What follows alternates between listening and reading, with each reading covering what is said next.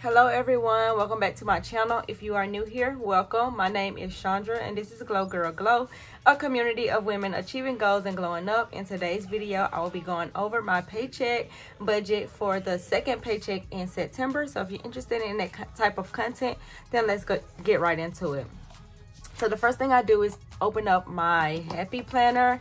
I have a happy planner that I also use my budgeting worksheets that I created and I put them inside of my happy planner so that it just makes life easier because I keep all of my things in here. If you are interested in these worksheets, I do provide them in my Etsy shop. I will leave the link to the Etsy shop down below so that you can start your budgeting journey. So I'm going to go ahead and get into the second paycheck, which is paycheck number two that I was paid with on September 16th.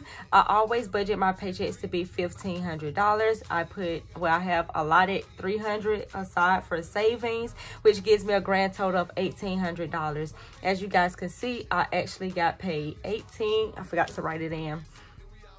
I actually got paid 18 33 16 and this time i did not put um i'm gonna use the 300 as an extra debt payment. That's why i have that right there.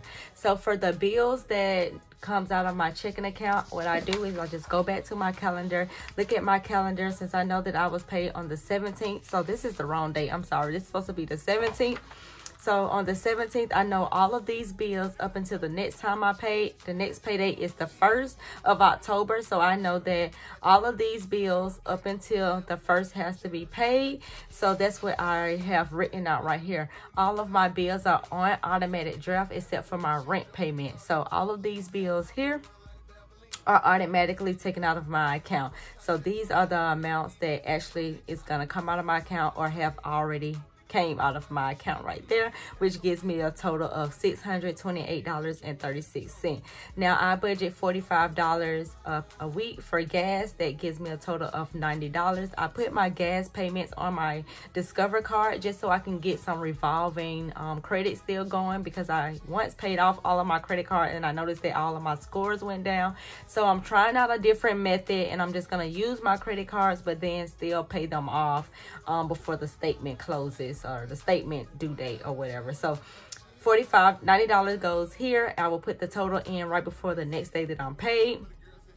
And then food and groceries, I budget $100 um, per paycheck, which gives me a grand total of $200 per month. That that includes anything like going out and things like that. I actually just went to the grocery store on um Friday, so I have to actually look at my receipt to see what all did I, how much did I actually spend, so I can put that amount right here.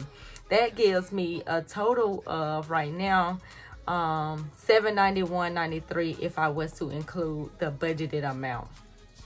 So after all of the bills and expenses are paid, now I move on to my next important things, which is paying off things and things like that. So here we have down here that I had a balance on my Discover card for 133.82. I went ahead and go ahead and paid that off. I had a Navy Federal Credit Union credit card um, that had a balance of $366.40. 40 I went ahead and paid that. Um, also, I'm putting $500 on my merit card. My merit card balance is, I think I like two, I think I owe two more hundred dollars on it or whatever. So that gives me a total of $1,022. So by the time I add up the $1,022, let's do that now. 1000 oh, 1000 hold on, I'm sorry. I'm just making all types of mistakes. 1022 cents plus the 628 36 that gives me a total of 16 28 58 now let's just say we don't go over budget and we use these amounts sorry guys. I was cut off because my phone ran out of storage. I will be so happy when my i get my new phone next week with more storage because this phone is so full of pictures videos and all those things that it just tends to go blank um, when I'm doing on video. That's so that's why I haven't really been on YouTube and recording because every time I start talking and then I think that I'm done, I see in the middle of the video it cut off. So I have to redo it again. So I'm just gonna pick up where I left off at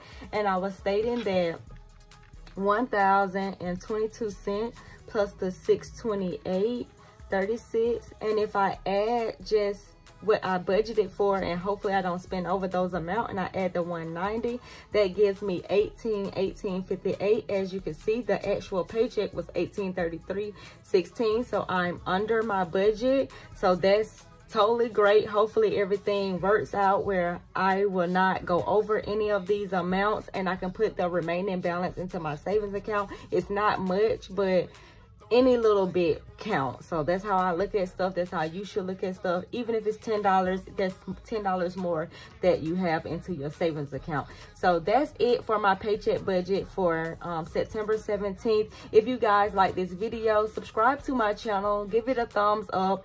I will leave the details on how you can purchase my worksheets in the description box below. And I will see you guys in the next video. Bye.